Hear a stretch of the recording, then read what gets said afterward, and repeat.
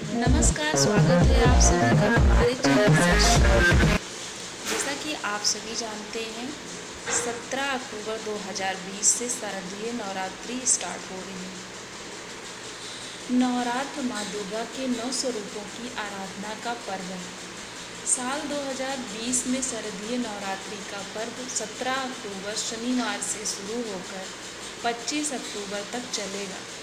शास्त्रों के अनुसार इस बार तिथियों के उतार चढ़ाव के कारण दस दिनों का ये पर्व नौ दिनों में ही संपन्न हो जाएगा।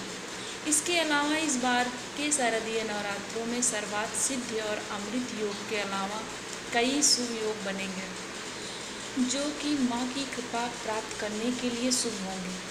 आज हम आपको इस वीडियो में शारदीय नवरात्र 2020 में बनाने जा रहे शुभ योग, शुभ मुहूर्त शुभ मुहूर्त में की जाने वाली कलश स्थापना विधि, पूजा सामग्री और नवरात्रि अखंड ज्योत के नियम के बारे में बताएँगे।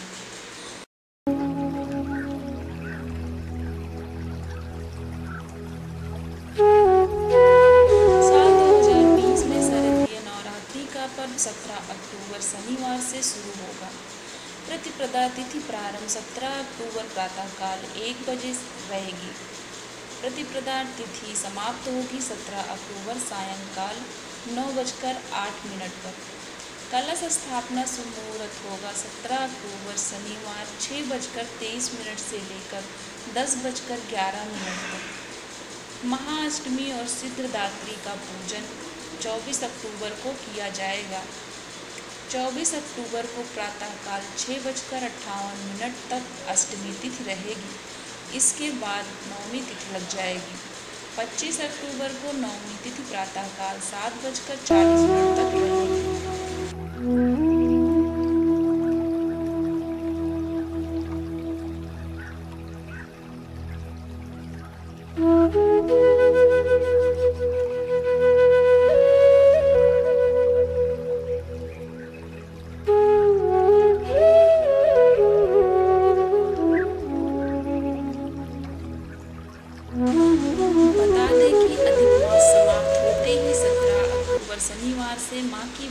के नौ दिनों का पर्व प्रारंभ हो रहा है।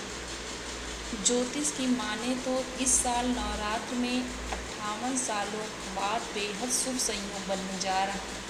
इस योग में इस बार शनि खुद की राशि मकर राशि और गुरु भी खुद की राशि धनु में रहेंगे, जो कि बहुत ही शुभ योग माना जा रहा है। यह योग भक्तों की सभी मनोकामनाएँ पूरी करने वाला होगा। इसके साथ ही इस बार नवरात्रि की शुरुआत और कलश स्थापना सर्वात सिद्ध योग में होने जा रहा है, जो कि माँ की आराधना और शुभ फलों की प्राप्ति वाला योग होगा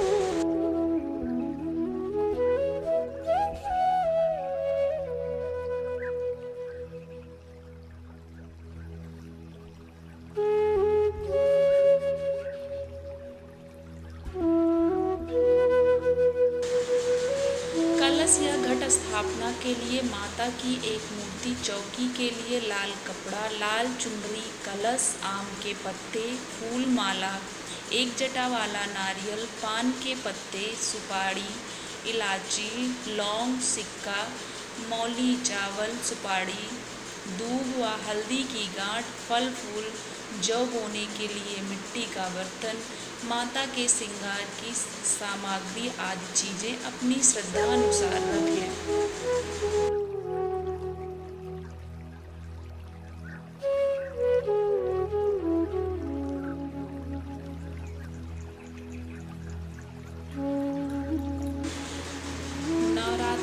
पहले दिन कलश स्थापना और माता शैलपुत्री का पूजन करें।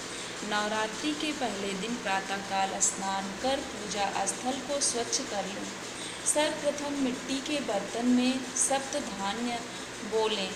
अब एक कलश पर रोली से स्वास्तिक बना लें। कलश के ऊपरी भाग में कलावा बांधकर उसमें गंगा जल मिला गंगा जल मिलाकर जल भरकर उसके अंदर सिक्का, सुपारी, दूध व हल्दी की गांठ डाल दें। अब कलश के ऊपर अशोक या आम के पत्ते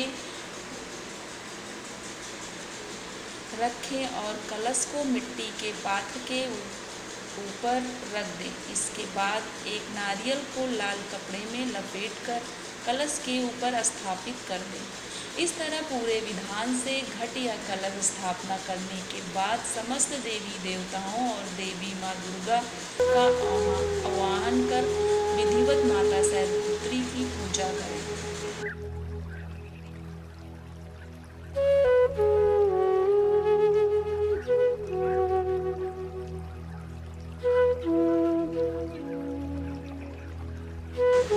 नवरात्रि अखंड ज्योति जो भी लोग नवरात्रि के दौरान अखंड ज्योत जलाते हैं या व्रत रखते हैं, उन्हें दीपक जलाने के लिए बड़े आकार का, मिट्टी का या पीतल का दीपक लेना चाहिए।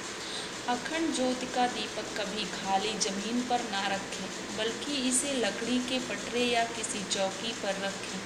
दीपक को हल्दी से रंगे हुए चावल के ऊपर रखें। अखंड ज्योत की बाती रक्षा सूत्र से बनाई जाए तो शुभ होता है। ये बाती कम से कम सवा हाथ की होनी चाहिए। दीपक में घी, सरसों या तिल के तेल का इस्तेमाल करें। मान्यता है कि यदि आप घी का दीपक जला रहे हैं तो ये बहुत ही शुभ होता है।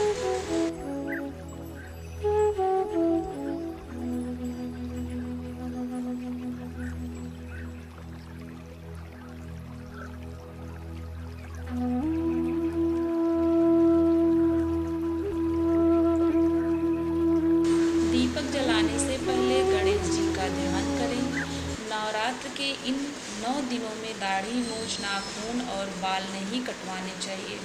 नवरात्र के दौरान घर में तामसिक भोजन व प्याज, लहसुन का प्रयोग नहीं करना चाहिए। नवरात्रों में घर का माहौल शांत व भक्तिमय बनाए रखना चाहिए। इस दौरान घर में कला आदि नहीं करना चाहिए। यदि आप नवरात्रों में अखंड ज्योत का संकल्प लेते हैं तो इस दौरान घर को खाली छोड़कर कहीं ना जाएँ। जय माता दी।